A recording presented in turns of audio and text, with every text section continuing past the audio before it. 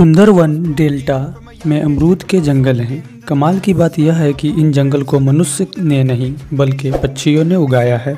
Video पसंद आए तो लाइक करें और चैनल को सब्सक्राइब करें।